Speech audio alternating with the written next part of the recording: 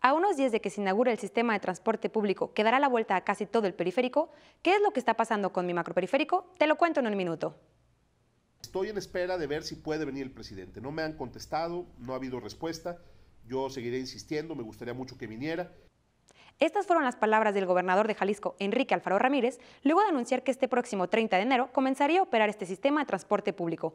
Los días transcurren y el proyecto que el gobernador presume como el más grande de Latinoamérica en su tipo iniciará sin estar completamente terminado y sin la presencia del presidente de la República, pues hasta este momento no hay indicios de que el mandatario haya respondido al pedido del gobernador.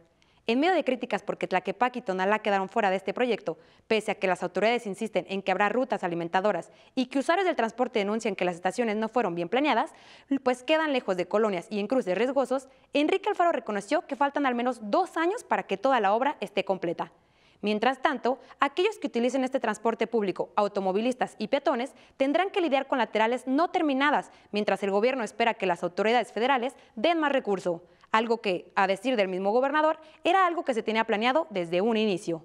Vamos, lo que se asegura es que este próximo 30 de enero comenzará a operar un sistema de transporte para identificar las fallas que se deberán corregir.